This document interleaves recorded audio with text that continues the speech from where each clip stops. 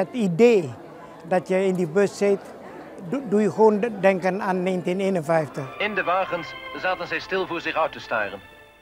Toen, begin jaren 50, was Philip 10 jaar oud. Met zijn ouders ging hij met de schip de Kota Inten richting Nederland.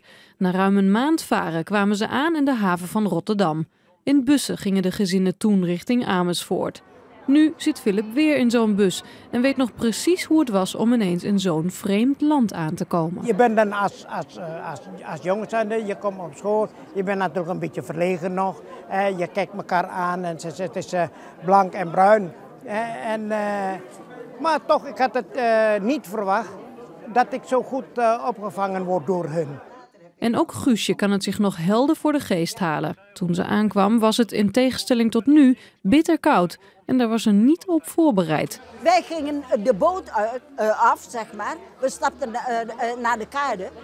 Maar we hadden natuurlijk geen sokken, alleen maar schoenen aan en, en eh, een, een, een eh, zomerse jurk. We maken een pas op de plaats bij de gedenksteen van kamp Amersfoort. Hier in het kamp staan ze er weer even bij stil. 60 jaar geleden werden ze op deze plek opgevangen en kregen ze warme kleding. Vanaf Amersfoort vertrokken de gezinnen naar verschillende opvangkampen in het land. Het was de bedoeling dat ze daar zes maanden zouden blijven, maar die zes maanden werden 60 jaar. Iets wat Guusje toen de tijd niet goed begreep. Weten wij veel van die hele politiek gedoe, toch? Dat weten we niet. Ongeveer 100 Molukkers beleven op deze manier hun eigen geschiedenis opnieuw. En ook de jongere generatie leert nog iets van deze reis.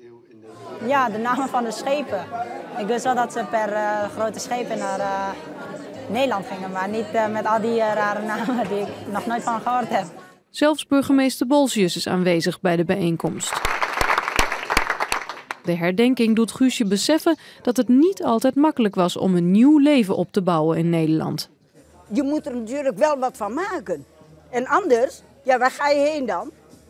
Wat moet je dan? En toch al heeft hij het hier goed, Philip zou ook nog wel eens terug willen naar zijn geboorteland. Als het kan, graag, maar dat moet wel in, in goede staat zijn. Daar heb ik, eh, eh, dan kan ik beter hier blijven.